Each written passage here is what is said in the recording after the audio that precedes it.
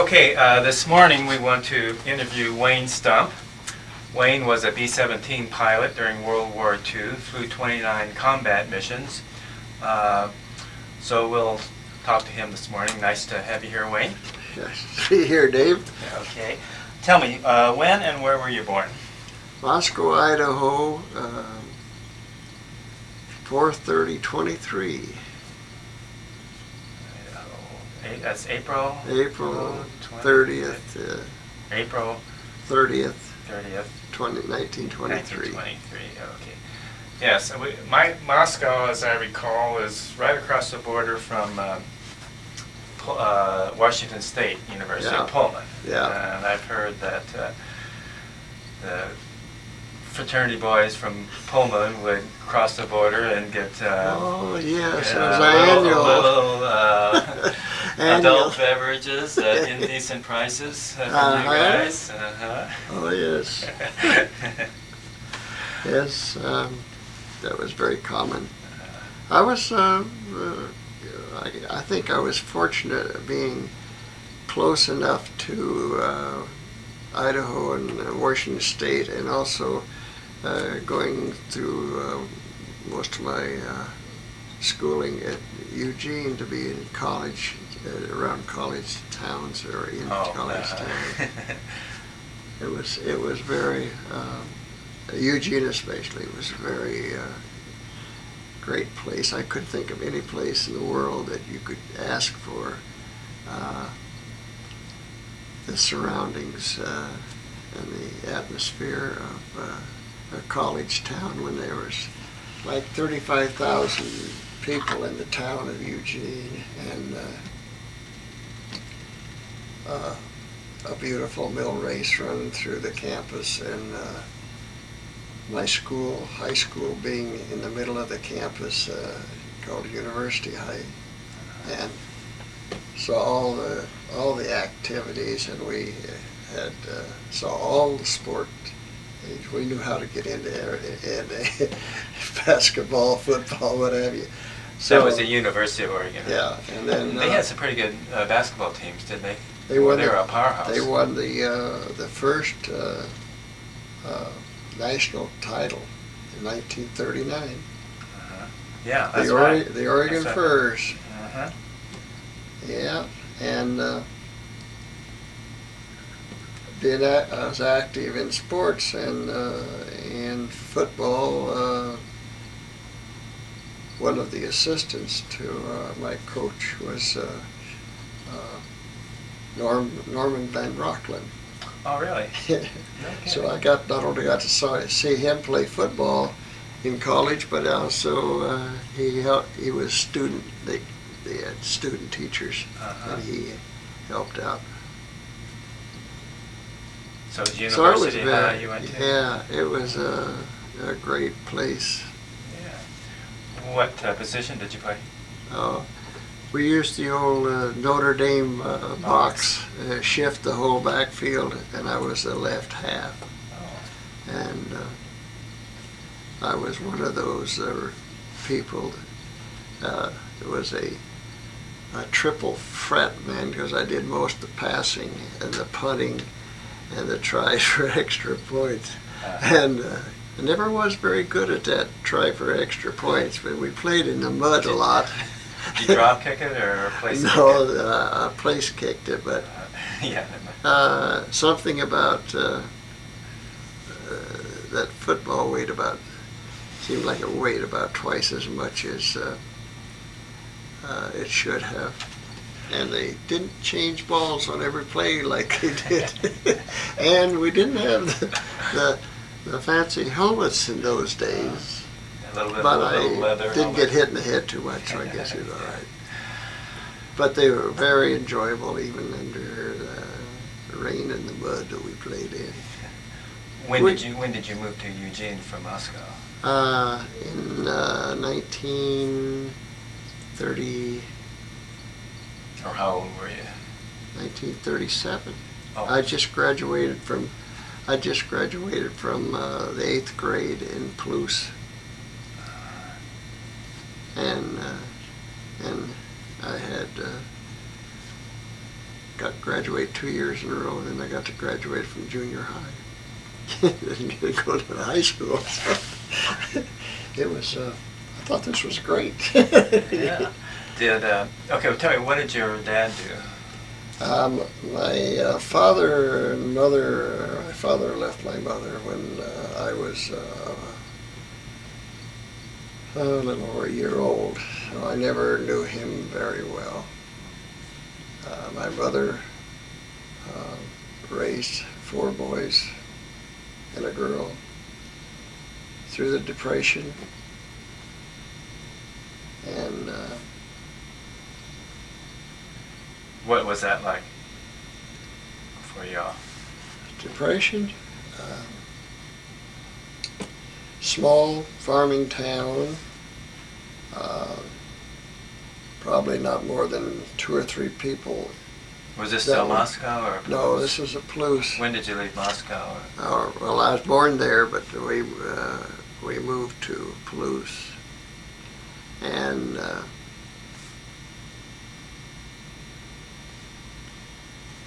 nobody had anything. Um, uh, you had to really dig to get enough money to go to the the uh, Saturday movie, uh, the serials, uh, uh, and I think they were ten cents and uh, to get 10 cents uh, we would uh, one of the things we did was we'd go out where they were thrashing and uh, they'd spill some grain and we had a piece of screen and we would sift the grain out until we got a little a bag of that and take it to the feed store and, and uh, yeah, I worked uh, uh, as I got older, I worked in a in a general store at, at ten cents uh, an hour to get enough money for a Boy Scout uniform. And our uh, we didn't have a newspaper, so all of our information came from the Movietone News on uh, uh, at the theater and uh, I think that's where I got the the itch to fly was seeing uh, things about Lindbergh and and uh, Wiley Post and Roscoe Turner and all the uh, all the pioneer uh, deal, and then uh, at one time the uh, fella came in with a Ford Trimotor and landed in a wheat field next to town, and he was taking people for rides, and I, I don't remember how much he was charging, but I didn't have uh, two nickels to rub together. But I was out there all the time, and finally, I guess he felt sorry for me. He, he says, "Get in. You don't look like you weigh very much." And uh, I was about, uh, oh, I don't know, ten, nine or ten, something like that and uh, and I read everything I could find uh, for years on uh, flying, and uh, I found a used bookstore in uh, Eugene, and it had all kinds of one one I don't remember the name of the publication, but it had all kinds of pictures of planes, and I had gotten a habit of cutting out the pictures and, and sticking them on the wall with uh, pins. My mother was a seamstress and uh, had lots of straight pins. So I decorated our room. She shared with an older brother, and he didn't think much of it, but I had it pretty well wall to wall with airplanes. So your mom, she was. Is that how she raised you guys by being a Mhm. seamstress? And then uh, we all worked. Uh, I was uh, I was uh, helping deliver milk when I was probably nine years old, eight or nine years old. My older brother, next oldest brother, and I had a, a little. There was a little uh, local dairy, uh, and uh, that's back when everything was in glass, uh, Yeah. Uh, glass bottles. uh-huh. And, would uh, deliver milk. And What, but was it a happy time for you? uh, most of the time it was because uh, all the kids that you played with, they didn't have anything more than you did. You uh, you had you you raised big gardens, and you uh, they raised uh, some of the people around there had fields that they raised uh, potatoes in, and after they'd harvested the potatoes, you could go in and uh, get the ones they missed, and uh, we'd you, we'd usually get two or three gunny sacks of potatoes.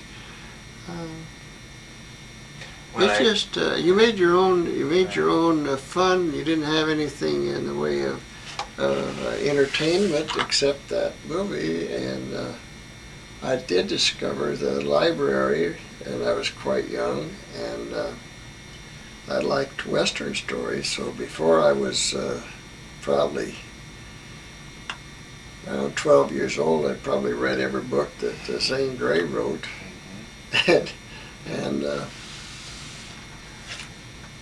that helped.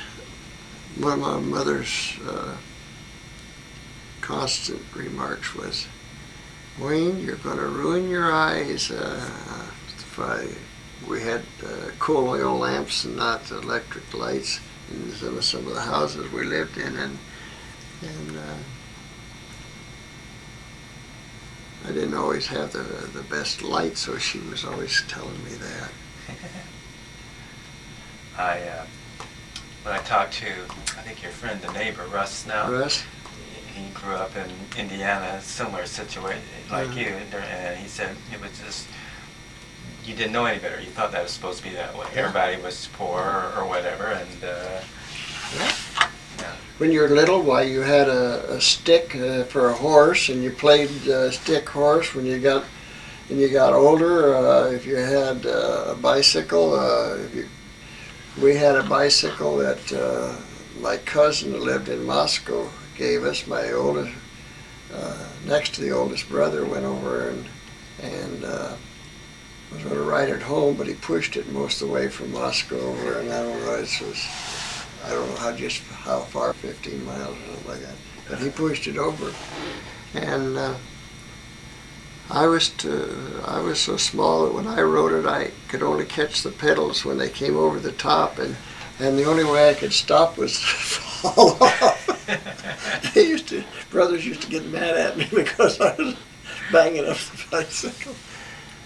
But uh, no, um, that same brother uh, ran a little trap line in the winter. On the, there's a Palouse River run through there, and I used to get up in the early uh, dark and go out with him on his trap line and with our dog, and, and uh, that was uh, To, what, that to was trap, what would you guys be trapping? Uh, muskrat most of the time. Once in a while you get lucky and get a mink, but mostly muskrat. And uh, So you sell, it- eat the muskrat or sell it or what? oh no, you you sold the fur. The- Also, yeah, muskrat fur. you skinned them and, and you sold the fur. And uh, oh, in those years, those years, uh, we had a trestle that ran across a train trestle, and uh, uh, that was probably the riskiest uh, part of our lives. We used to climb around on those. Did you see that movie uh, about these kids and it was it was taking place in Oregon and part of it is they're going across this railroad trestle Oh, and yeah. the train's coming Oh, and it must yeah, have been remember similar to that. Yeah. Well, there weren't very many trains. Uh-huh. And uh, one of the things that we did, we, uh, we always had slingshots, and uh, uh, our, our biggest target was the uh, glass insulators at uh, San Juan. I thought afterwards, after we'd grown up, and they were selling those for uh, 50 cents or a dollar, and I think, I think all those that we broke. Yeah, I guess you should do that too, or again. And we had snow every every winter. We'd have snow, and uh, the river would freeze over, and we could skate on it. Uh, we worked, as I say, everything we could find to do to help uh, to help mom, uh, uh, they they raised a lot of wheat and uh, oats and peas around there, and I worked on a. My oldest brother and, and a fellow that owned a truck would haul the hundred pound sacks of grain into the into the uh, warehouse. And I work on the back of the of the truck, spotting the sacks in rows, you know. So, tell me, what, uh, what were you doing on December 7th, 1941, if you can recall? Um, let's see, where was I?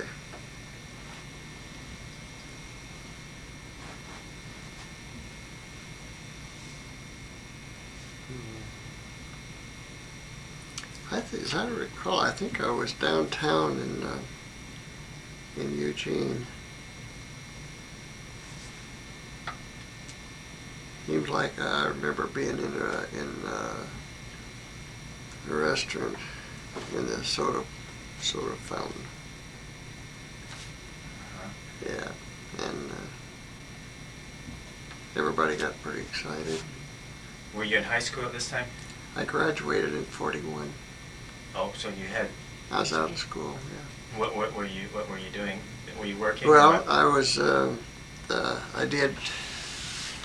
I was working uh, while I was in high school uh, on the weekends and, and after school times. I was working at an auto parts store delivering parts. And then uh, the war war thing geared up. Uh, I went up to with uh, some of my buddies. We went up to Portland and uh, over to Vancouver, Washington, and uh, they were building housing for shipyard workers. And uh, all I was uh, doing for eight hours was running a cutoff saw, cutting two two fours to to eight foot deals, This is- one after another. Oh, Where was this? At uh, Vancouver, Washington, Oh. across the Columbia, across the river from Portland. And then uh, we found out that uh, uh, Kaiser was hiring uh, people in the shipyards in Portland. So we went over and got a job working in the shipyards. And worked in that until uh, uh, I got my call to, uh, well, I'd, I'd I'd gone up and uh, and to enlist in the Navy, and uh,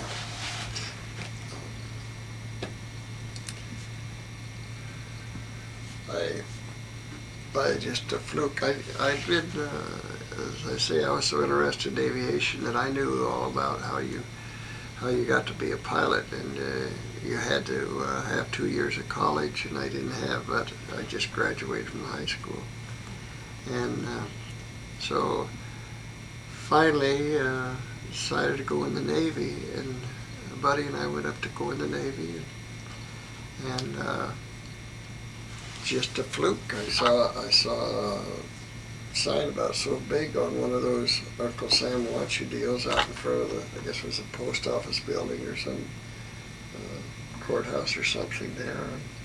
Said cadet exams, air air Air Corps cadet exams, room so and so. And uh, I told Jimmy, uh, uh, friend that I was with, uh, let's go see what that's about. He said, we don't have no college education. We can't get we can't get in the Air Corps. Well, let's go. Won't- don't cost nothing to look. So we went in and uh, they said, you high school graduate? Yeah go ahead, take the test. And I was a little flabbergasted, but I wasn't going to argue with him, so we went in both of us passed the written test to give, and then we went in uh, to take the physical, and, and uh, I passed the physical, and uh, Jimmy uh, got uh, turned down because of a overlapping tooth. Well, I had lost uh, four teeth in the front from uh, uh, a right and, and um, football. And uh, so I had partial plate and I had I had to uh, endure the last couple of years of high school with uh, nicknames like Granny and uh, Snaggletooth, and you know, out of a good high school, kids like to pin those on you. Tell me how uh, that was while you were playing football. You lost him. I lost. I had uh, first. I had a partial with two teeth that uh, uh, I was uh, uh, a little. My mouth was bigger than, than, than, than my muscles. I guess I don't know how you'd put that, but anyway, I uh, I I tangled with the wrong person anyway, and uh, then How old I were you then then? I huh? How old were you then? Oh, I was probably 16. Yeah, about 16 when I lost the first two. And uh, then uh, I lost the two next to it. So Jimmy knew I had false. Uh, he says, "You got in with false okay, the, teeth." Okay, wait, wait, wait. The other one you lost playing in football. Yeah, Well, an elbow or something like that, or what? uh, I don't know if it was an elbow or a knee, uh, but I caught uh, in the mouth, and and uh, I remember my nose was bleeding. Uh, I no, was, fa- I was no going face, to- no face guards in those. No, no, uh, no.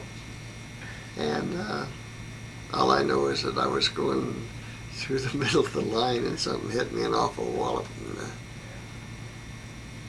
uh, that's when I discovered I had something loose in my mouth. when I played football in high school, we didn't get we, we got a, a single bar in my senior year, but before that we did. And that was the that was the thing that was- worried me the most of those losing people. I had a, a lot of the guys just like you. They go, you know, they get those. And my best buddy on kickoffs, we would go down a certain position in Yeah. from the outside, and he'd go down on one side, I'd go down on the other. And this this one game, he went down, and and, and it just we had you know if I'd have been in his position, the guy gave him an elbow right and knocked his Oh. two front teeth out. Oh, That's a, that was to me, I think the hardest I was ever hit was, see, I weighed uh, 139 pounds was the most I ever weighed. yeah. Let me get this. Library. Uh, no, this is library.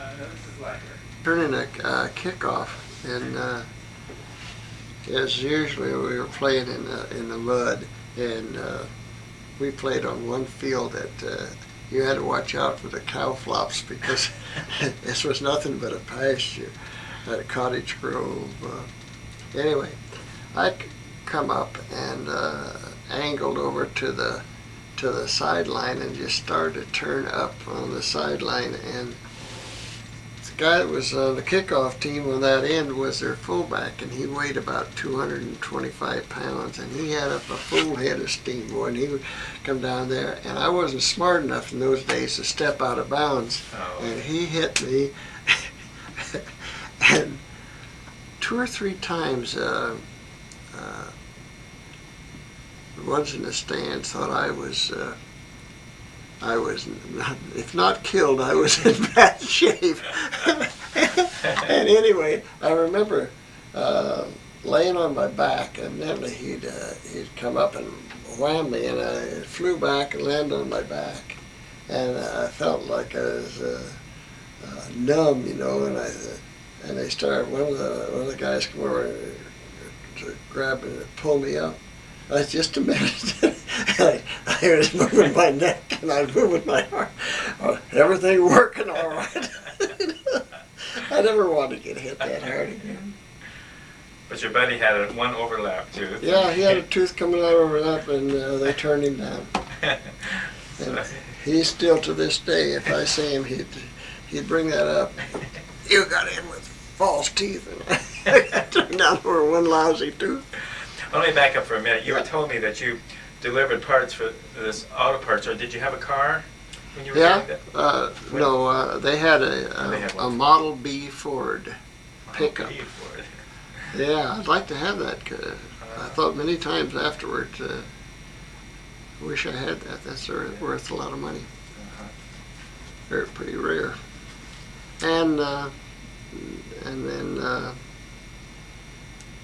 well, you just we we picked beans or or worked in the cannery or uh, uh, one year I topped beets. I never want to do that again. You have to. You're down in the in the mud, actually in the mud, and you're pulling these beets and and twisting the tops off and sticking them in a sack and drag the sack and after you do several and you'd have to drag the sack when you get through why you had this nice stain on your uh, your right hand. You know you're stained up pretty good but this was really ground in good here. Took quite a while to get all that that beet stain out of my skin. But uh, that's what the kids did in those days. You didn't you uh, most of your uh, uh, junior high or high school kids uh, worked wherever they could work. Because that was still uh, back to 38 and 39 you know 40 So you, so you got, uh, uh, they accepted you into the Air Corps as an Air Corps cadet then? hmm but then they then This was, would be, oh, like in 1940, or what year would that be then? that been uh, 40 late 42 Yeah, uh, 42 to 45. I was in three years, and uh, but before before they took me in, I had to wait for the the call for next class. Uh, and I was going to go to college training detachment at Tempe, Arizona, and uh, get the equivalent of, of uh, two years of college in about five months. And uh, but one Was that the, like the University of Arizona that's Arizona State now. Oh, Arizona State, right, It was Arizona State Teachers College when we when I was there. yeah. Uh, And uh, before I went in, though, uh, whenever one of our, our uh, group of guys that get to school together knew each from both our school and Eugene High School, when they go in, we'd have a party for them, going away party, and see them off. And I kept waiting and waiting for my orders to report, and the guys kept going and kept going. Finally, I'm the I'm the last of the Mohicans uh, waiting for uh, my orders. And so when I got them, went down to to uh, leave, and my mother and sister was down there in uh, and uh, the train depot, and all the girls from uh, all, all the parties, the other guys, uh, I think there was something like eight of them or so lying there, and, and one of them said, Wayne, are you going to kiss us goodbye? And I, I said, real nonchalant, I said, line up. and those dirty cows, they took their lipsticks and they just loaded that, that lipstick. And I had lipstick from ear to ear. I got on the train and, and this, I remember this old, old fellow on the train said, you look like an Indian on the warpath. I always say, nobody got a, uh, better send off than I got. yeah. Yeah.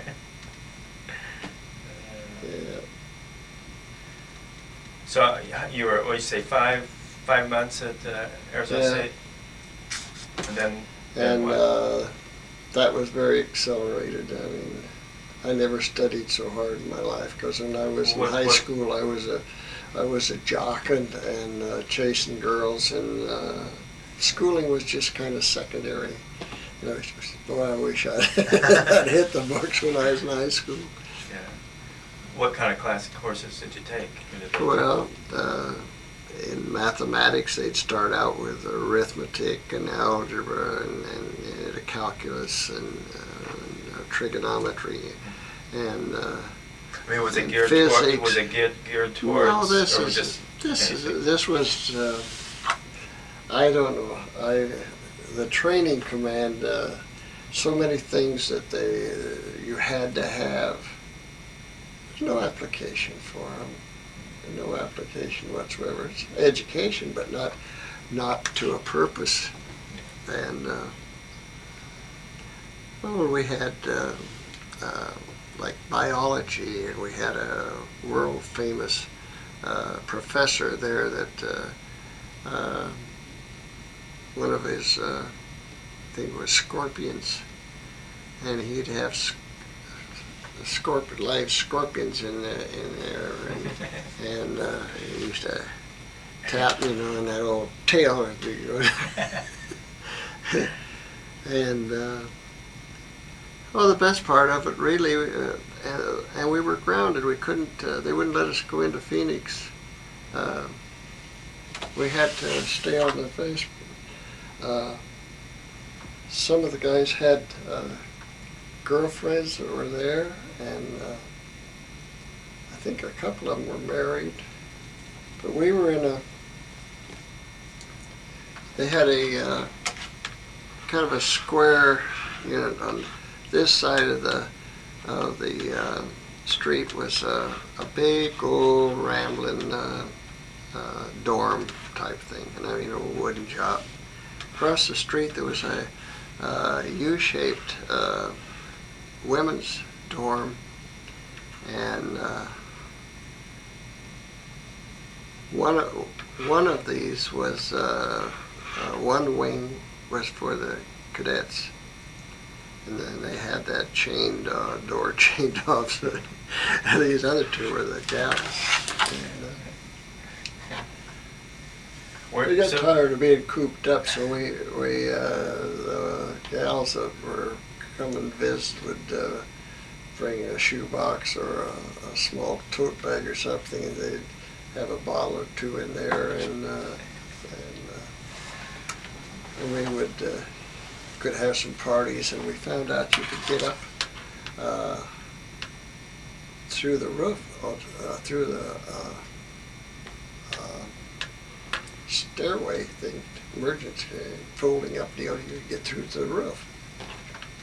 The cows could get through to the roof, and there was nothing uh, in there in the way of barriers, so the, the parties went on the roof. and uh, it was awful hot. We had a mutiny there, if you want to call it a mutiny. Uh,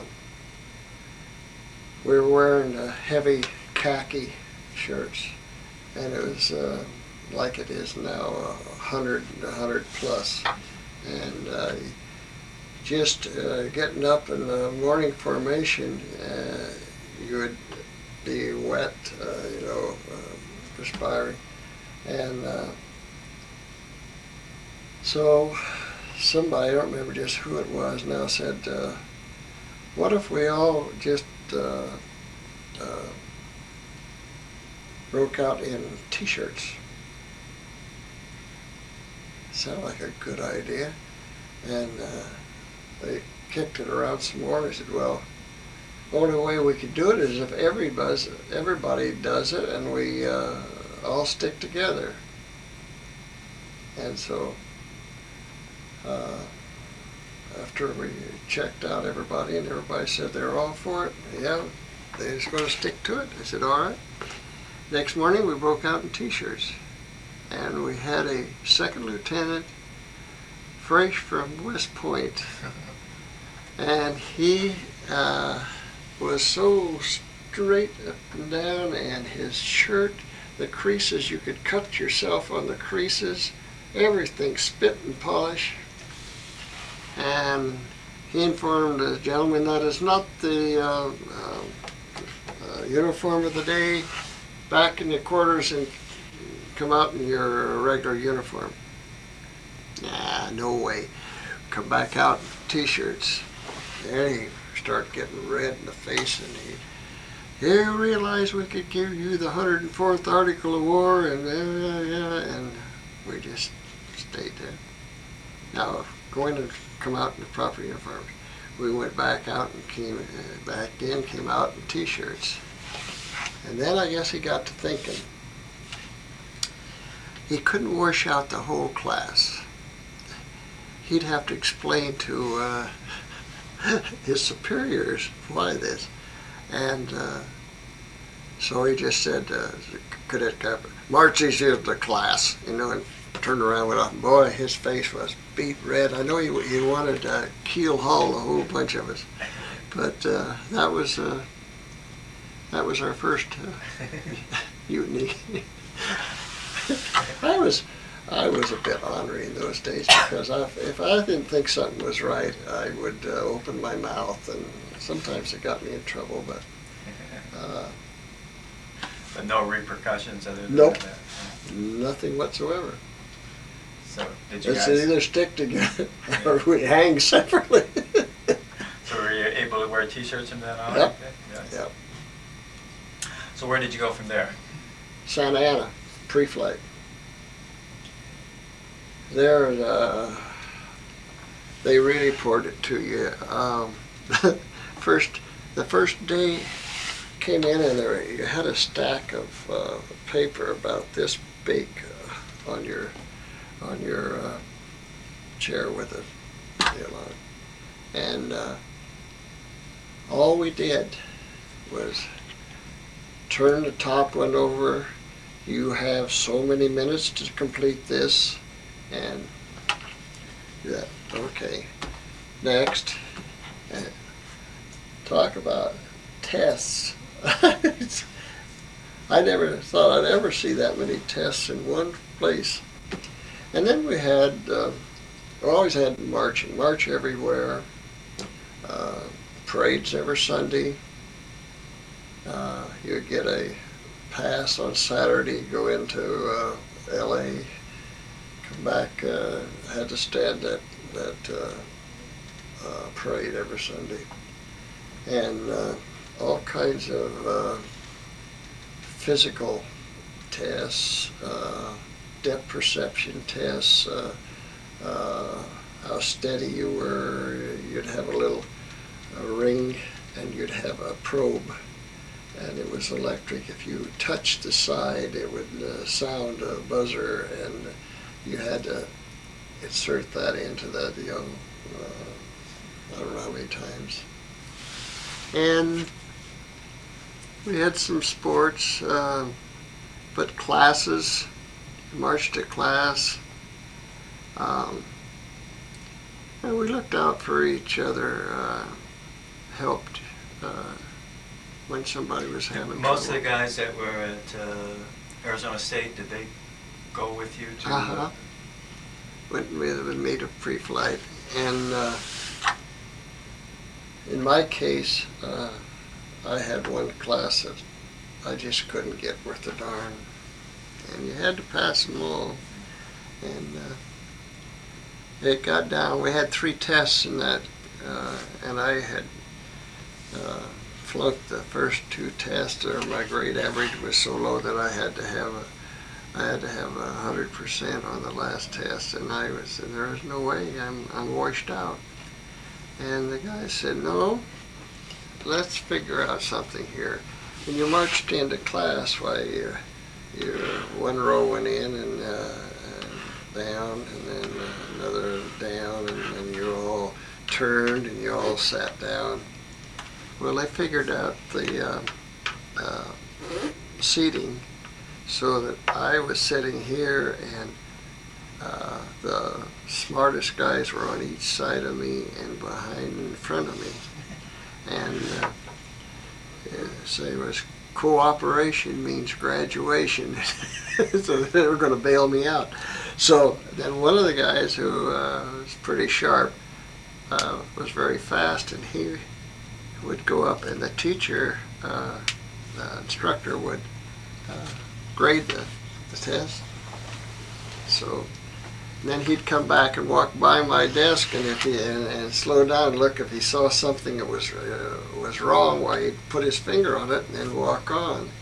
And uh, and uh, the brain trust and I would get together and figure out the right answer. And uh, so after it was over and uh, he was grading tests away, and then he, uh, he says, "You know, boys," he said, uh, "one of our one of our cadets had to have a perfect score in order to pass this course, and do you know he had a perfect score?"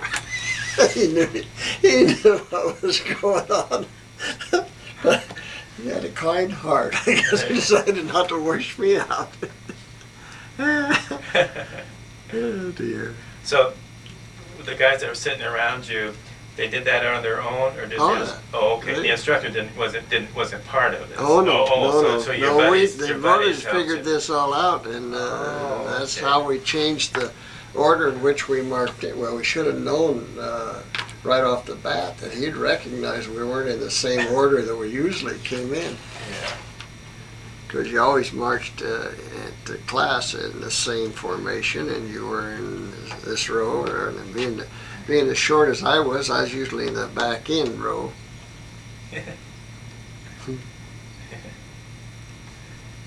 But I, I've I've told people before the thing that uh, kept uh, I think kept most of us going. They they'd pound this into you all day, you know, until you're wondering, what am I? Why don't I just drop out of this, you know? And who needs this uh, this much aggravation? And and uh, then around uh, uh, dinner time, the the uh, P-38s would come in over at uh, at uh, uh, Ontario.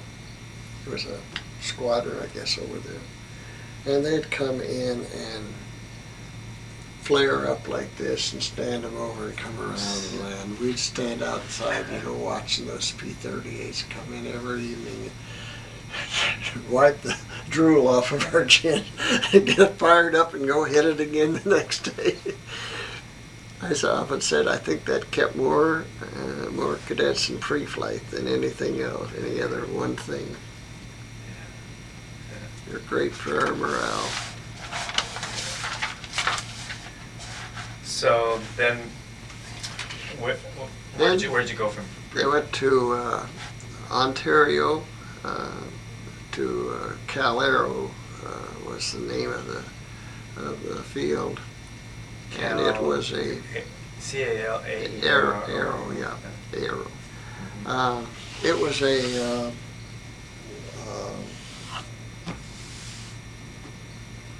teaching uh, c- uh, flying school there. like- Yeah, right. owned by a Colonel Moseley, and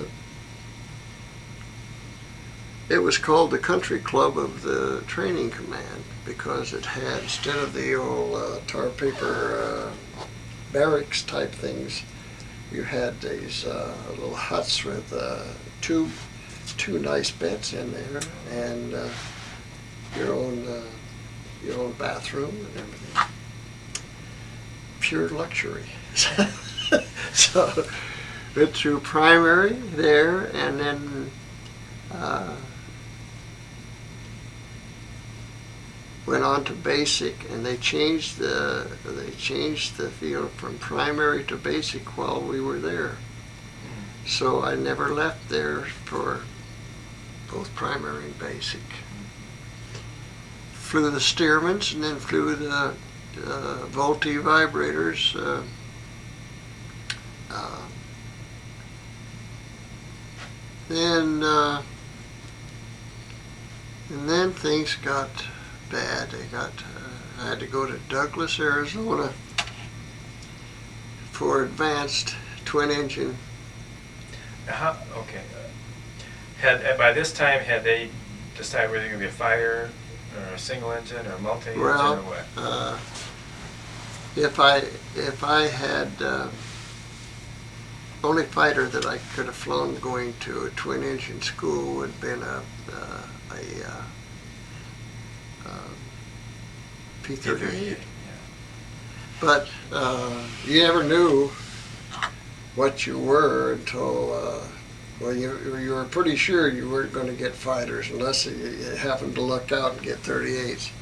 So, so when that. Uh, Well, okay, well, how, did everybody go to twin engine school, or uh, how did you go to, tw- I mean, are there different? Well, there, like- there's different training fields all over, and uh, uh, the just flight like the- the luck of the draw? so- Yeah, just, uh, just, uh, I was recommended by my instructors in primary and basic, uh, for uh, fighters. but then uh, the powers that be say, well, we can allow, let's say, uh, 10 can go to fighters, the remainder go to twin engine. Okay? So, uh, uh, uh, Douglas, Arizona is probably one of the most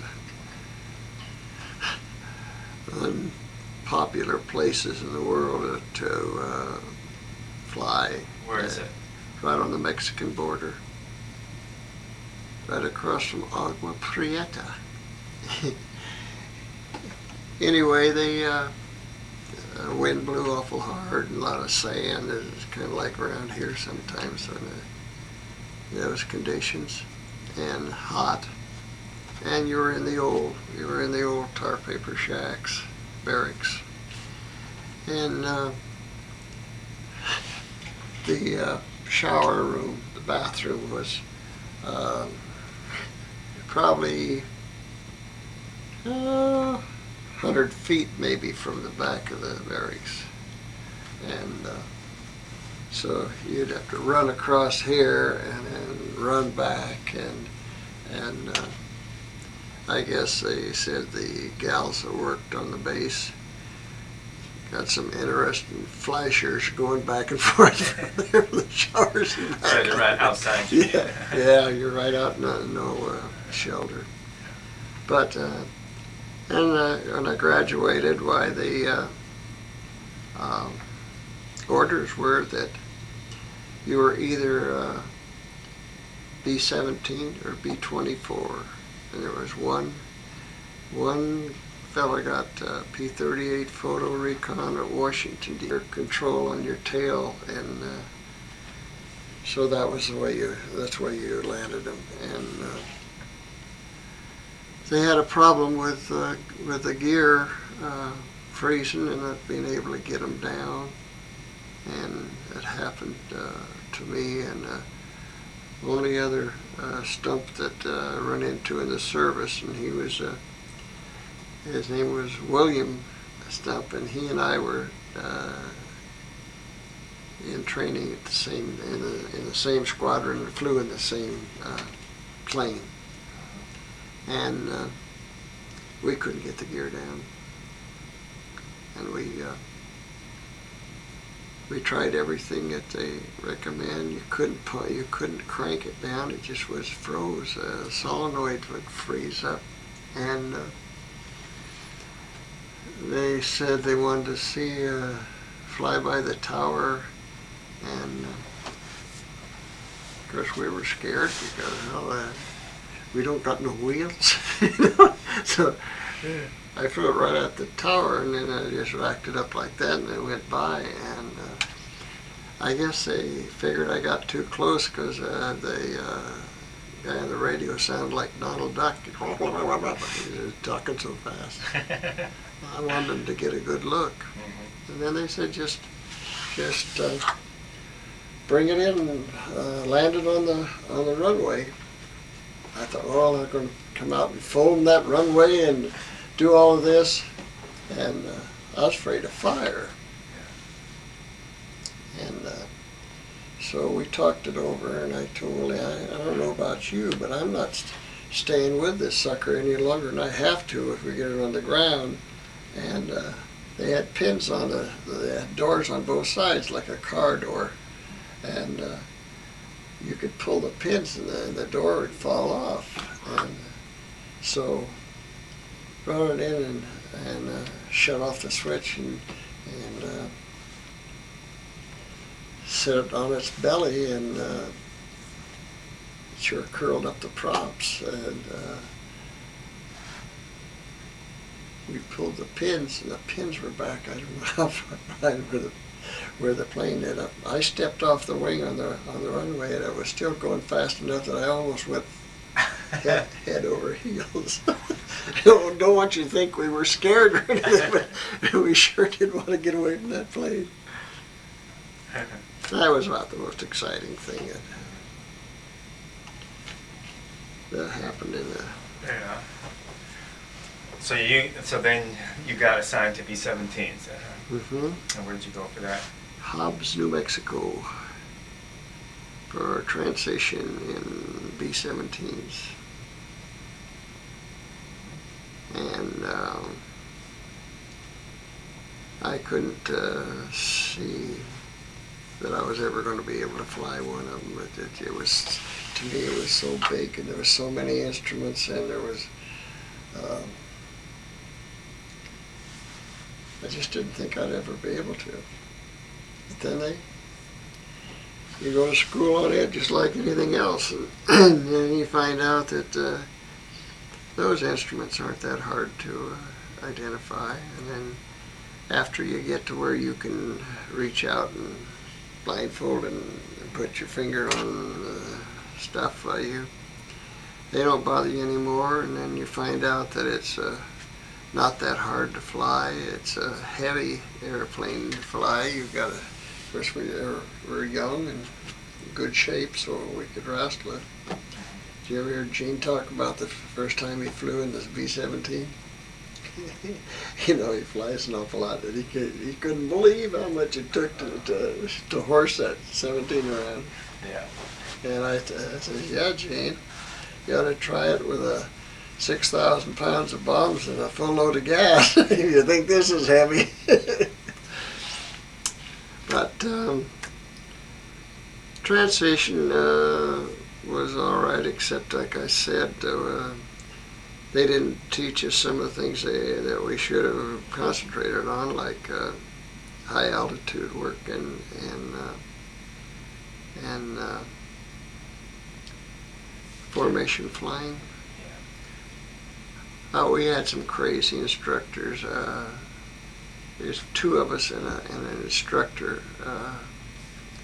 One night we were flying. We went over some town. I don't even remember the name of the town now, but we were up about ten to fifteen thousand, I think. And he looks down there, and I'm sitting in a what we called a swing seat, was just a uh, a little seat you could hang between the the seats, and the uh, the other um, pilot was up in the right hand seat, and he cranked that over and uh, straight down at this uh, town, center of this town.